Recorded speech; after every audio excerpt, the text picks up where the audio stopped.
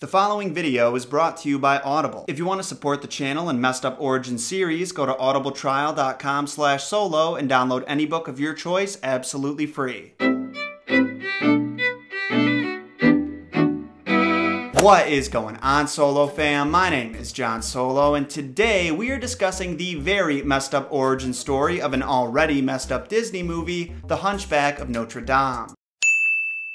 When I was growing up, I was never really a fan of this movie. I didn't necessarily dislike it, but there wasn't much about it that I enjoyed. The plot and its themes were just a little too complicated for me. I understood what was happening, but not exactly why it was happening. For example, I never understood why Frollo hated the gypsy so much, or why it was such a big deal that he had feelings for Esmeralda. So in order to make this episode and actually know what I'm talking about, I had to rewatch the movie this weekend, and while it still isn't one of my favorite Disney movies, I found it pretty entertaining. I also found it to be surprisingly dark and deal with some pretty adult themes for a Disney movie. So if that's how Disney decided to tell the story, imagine how dark the original is. As usual, before we dive into that, we're gonna go over what happens in the Disney classic. Before we do though, make sure you hit that like button so we can reach our goal of 5,000 likes and keep this series going strong, and subscribe for new Disney content every single week. The Hunchback of Notre Dame takes place in Paris, France and follows a deformed bell ringer named Quasimodo. He was born to a family of gypsies that were all arrested or killed by the gypsy-hating Minister of Justice, Claude Frollo. In order to atone for the murder of an innocent woman, he reluctantly adopts her deformed baby, names him Quasimodo, and raises him in the Notre Dame Cathedral where he eventually becomes the bell ringer. The two do not have a healthy relationship. Frollo psychologically manipulates Quasimodo into thinking he's too weak for the cruel outside world, and the hunchback is totally subservient to his master. Despite being told he'd be shunned for his monstrous appearance, Quasimodo attends an annual celebration called the Festival of Fools and initially enjoys himself. But he ends up being humiliated by the citizens of Paris until a gypsy named Esmeralda saves him. In order to avoid arrest for her public display of witchcraft, Esmeralda is confined to the Notre Dame property, which provides sanctuary from the law. Before you know it, Esmeralda has stolen the hearts of three different men. Quasimodo, the captain of the guard Phoebus, and the beyond creepy Frollo, who upon learning of her escape, launches a citywide woman hunt which soon devolves into chaos. He attempts to burn Esmeralda at the stake for rejecting his advances, but she ends up being saved by Quasimodo and the other gypsies Frollo arrested are freed by Captain Phoebus. In a last-ditch effort to kill his adopted son and the gypsy he's fallen in love with, he pursues them to the balcony of Notre Dame and after an intense altercation, falls to his death. In the end, Quasimodo is respected and celebrated for his valiant efforts to save the citizens of Paris, and Esmeralda and Phoebus fall in love and live happily ever after. Like I said, a pretty dark story, but it still got nothing on the 1833 novel written by Victor Hugo. What's interesting about this book is it wasn't just written to tell the depressing story of a crippled bell ringer and the gypsy he fell in love with. Hugo actually wrote the book to bring awareness to the value of Gothic architecture, which at the time was either being neglected or torn down down and replaced with newer buildings. As a result, this book contains a lot of really lengthy passages, unnecessarily long passages that you might compare to the writings of J.R.R. Tolkien. He often goes into an excessive amount of detail describing the buildings that make up the book's setting. He even pauses the story in chapter 3 to go on a tangent about the architecture of Notre Dame and how any attempts to improve or repair the building have only made it worse. Personally, I don't blame anyone for wanting to move past the Gothic style architecture architecture. There's only so many gargoyles you want in a city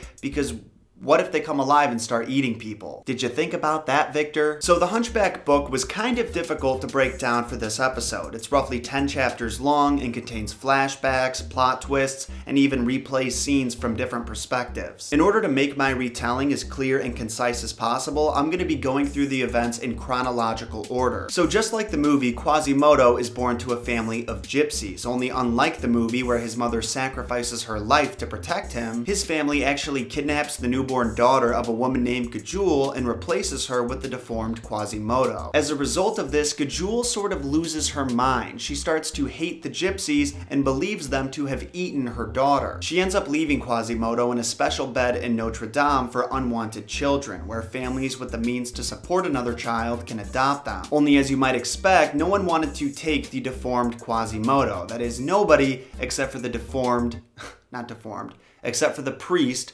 Claude Frollo. In the book, his adoption of Quasimodo is much less out of fear or wanting forgiveness from God. The real reason comes from his childhood. When he was young, his parents were killed from the plague of 1466, and he was left alone to raise his younger brother. Seeing the baby Quasimodo helpless and unwanted, he couldn't help but think of his own younger brother and how he could have been subjected to the same fate if it weren't for him. So he took it upon himself to adopt the baby hunchback. He named him Quasimodo, raised him in the cathedral, and also taught him how to read and basic social skills. The problem was, on top of his physical deformities, which included an oversized wart which made him blind in one eye, red bristles all over his face, and a hump coming out of his back, Quasimodo also had mental disabilities as well, so he wasn't a quick learner and Frollo would often become frustrated. From a very young age, the hunchback became fascinated by the church bells, and by the age of 14, he was the official bell ringer, which also ended up making him deaf. So he's just not in good shape. Now, while Frollo truly had good intentions when adopting Quasimodo, he is just not a good person. So as a result, the relationship between he and the Hunchback is pretty much the same as in the movie. The next scene takes place at the Festival of Fools, and this is actually where the book starts. Just like the film, Quasimodo decides it's time to get out and see the world. And just like the film, he's elected the Pope of Fools for having the ugliest face of all the festival's attendants. Not trying to be rude, but I get it. I get why he won the contest. Some of the crowd picks up the Hunchback and carries him around the city city in celebration, while the rest of the festival's attendants gather around the beautiful gypsy Esmeralda and watch her dance. This is when Frollo gets his first look at her, and despite his commitment to abstinence for the church,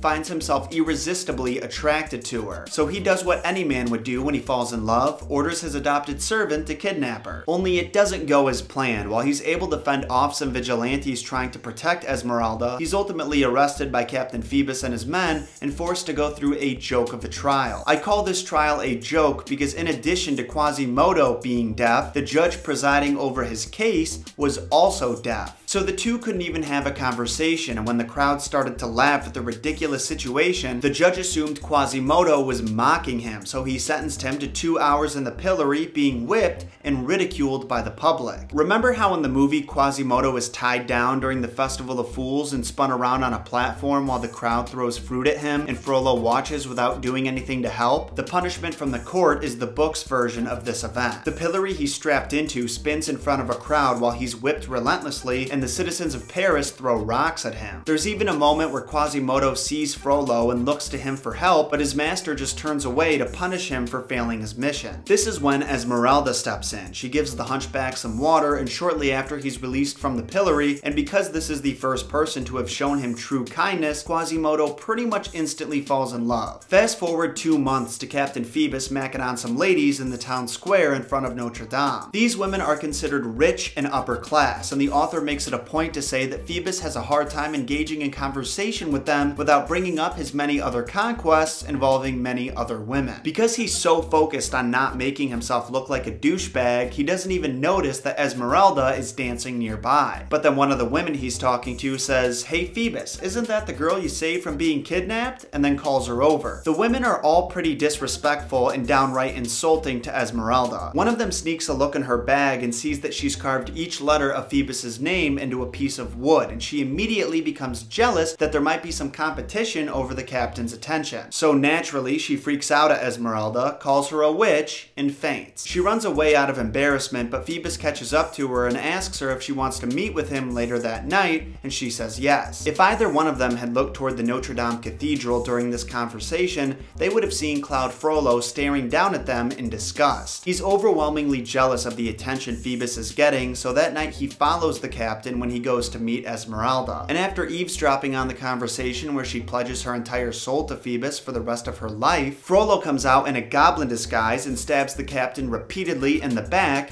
Esmeralda faints, and when she wakes up, Phoebus' soldiers think she's the one who murdered their captain and arrest her. They take her into custody and torture her until she falsely confesses to the murder, and then she's sentenced to hang in front of Notre Dame. Fast forward a bit to the day of her execution. She's standing on the platform when she sees Captain Phoebus off in the distance. It turns out he survived, but he also thinks that she's the one who stabbed him, so he couldn't care less whether she lives or dies. You know who does care though? Quasimodo. And just like like in the movie, he swings down from Notre Dame to save her and brings her back into the cathedral, which provides sanctuary from the law. The biggest difference between this scene and the movies is that at this point, Esmeralda and the Hunchback haven't really had a chance to bond outside of when she saved him from the pillory. So during this couple day period where she has to live with him, she has to build a tolerance to his misshapen face. There was probably a nicer way to word that. After a few days, the governing body known as Parliament revokes Esmeralda's right to sanctuary. And upon hearing this, the gypsy community organizes a gang of men, women, and children to storm the cathedral and help Esmeralda escape the king's men. The problem is, Quasimodo doesn't realize that the crowd of people surrounding Notre Dame are there to help, not hurt Esmeralda. So he takes it upon himself to defend Esmeralda from the oncoming attackers who can't even explain to him that they're on the same side and trying to help because he's deaf. During all this chaos, which is keeping Quasimodo busy,